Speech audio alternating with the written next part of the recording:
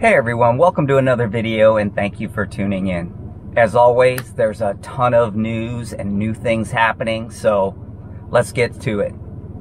Oh, before I get started, on a personal note, just wanted to let you know that still don't have my umbrella from Tesla. And if you don't know what I'm talking about, I'll leave a link in the description. And also, if you're interested in the pedestrian warning system and having that installed, I'm going to do that next week, so stay tuned for that. All right, let's get started with the news.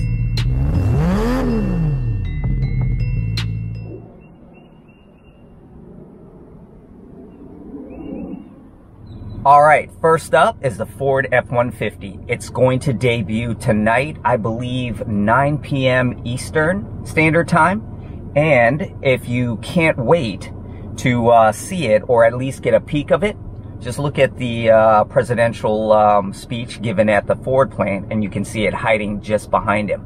So it's the one with the headlights on. So I'm sure it was intentional.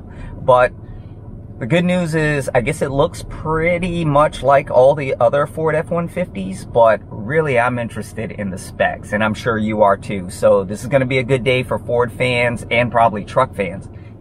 Moving on to Mercedes-Benz. You know, so the latest one is uh, the van, their minivan, the EQT. Now, I'm kind of a fan. No, you know what the truth is? I'm a fan of fans. I, I like them. I like the utility. I think they're very cool. But this one, they're using Tony Hawk. And apparently their idea is to have an electric skateboard that goes with it and charges in the rear it's pretty cool and that's their tagline through the whole thing is that it's pretty cool that tony hawk's pretty cool but take a look at that that's pretty well done and uh, yeah it looks great so another vehicle that i'm really excited about even though it's still a ways out is uh, the Canoo. i guess our lifestyle vehicle is going to be available for people to purchase. They're taking deposits. Now this vehicle won't be out till probably, I would say late 2022, maybe, you know, as production stuff goes, maybe into 2023. But their original idea was that they were going to use them as commercial lease vehicles and no one was going to own them. But now it looks like they're going to be catering to actual customers and regular folks like you and me, and that we could purchase these vehicles for our own use. And not only that, but the prices are starting to look like they may be affordable. They're targeting a price of 35000 to start up to 50,000 I believe is the range depending on the trim level that you get. You know, that's before any kind of EV incentives or anything like that, but their vehicles are so modular and look so cool to me that I don't know if they come out at right in there at 35 to 40,000 I think it'd be it could be a pretty popular vehicle but I'm excited about it and I hope they make it to market but like all electric vehicle uh, startups and everything it's hard to say especially this early in the game if they're gonna make it but fingers crossed because again it's nice to see different ideas and different concepts out there you know, like I showed in previous videos, Aptera, that's, uh, they're still working and they're still doing good. Hopefully they come to market as well, you know. But anyway, Canoo, I, I am really excited about it. And I, I can't wait to see uh, what they do next. Now, talking about another company, um, an electric vehicle company that's not looking so good currently, is Lucid. Lucid, uh, Rawlings had an interview on CNBC, and I'm going to tell you, he did not look very uh, promising on production numbers.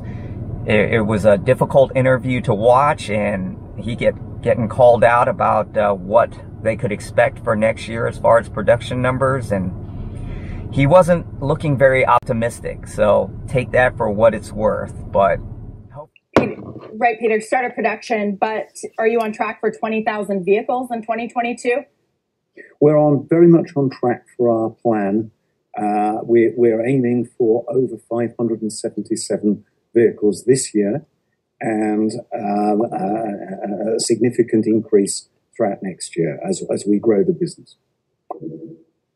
Okay, but you won't repeat that 20,000 number. I'm, I'm noticing, Peter. Are there some hesitations around that? Is there any reason to think that you might not be able to hit that number that you laid out?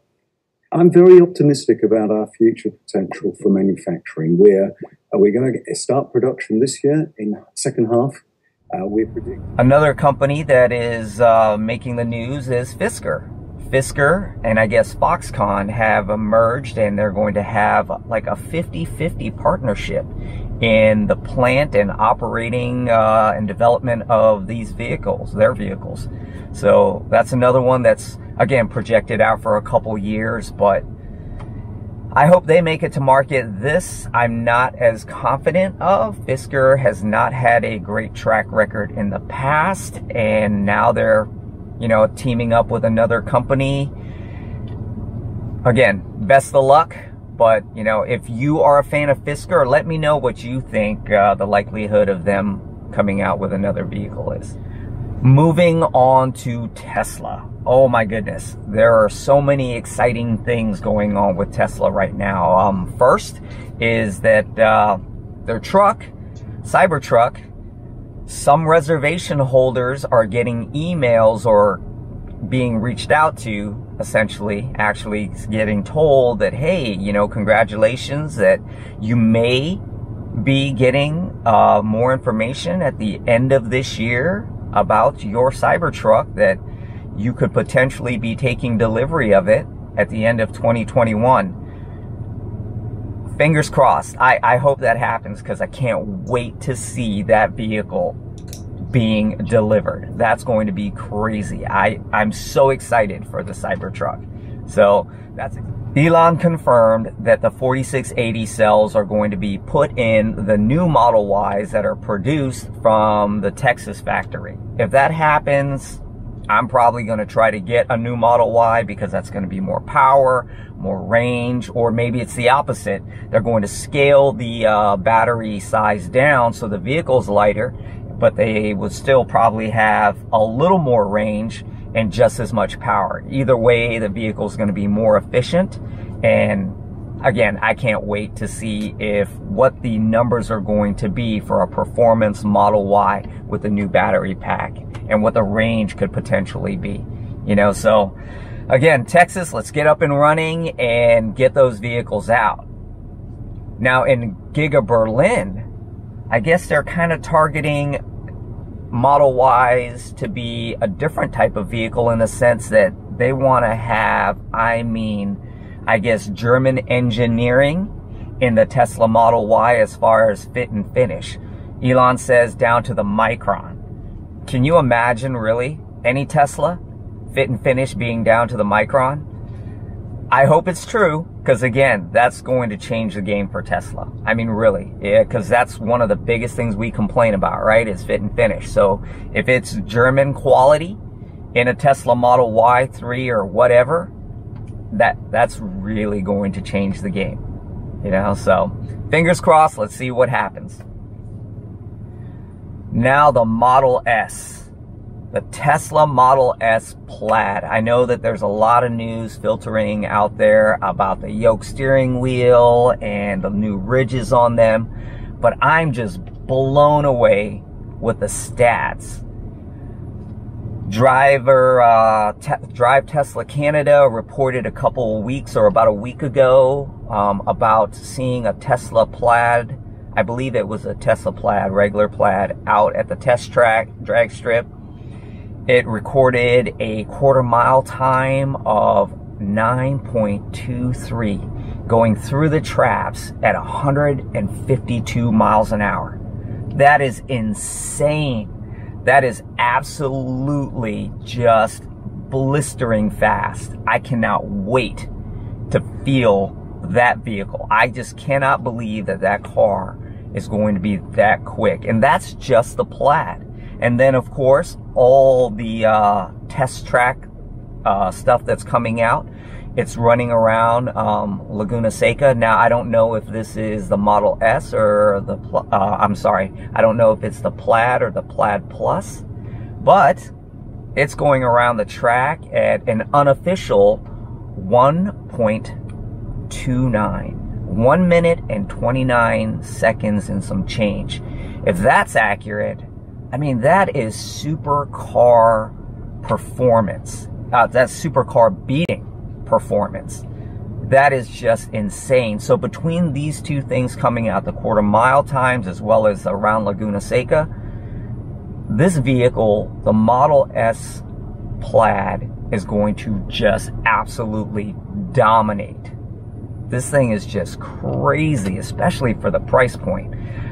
I'm really excited. I can't wait to see these things out there and I can't wait to see people testing them out at the track and at the, you know, drag strips. What a crazy time to be an electric vehicle enthusiast because again, eh, you're going to have all kinds of bragging rights that the electric vehicle is just dominating cars, gas cars. You know, this is so crazy. So, at any rate, I wanted to keep this short. And again, just a reminder, if you're still interested in uh, the pedestrian warning system, I'm going to have that done, I think, um, the beginning of next week. So come back for that. And as always, please go to your car meets, have fun with your mods, and really enjoy what you currently have because make the most of it. All right. Thank you. And again, we'll see you on the next video.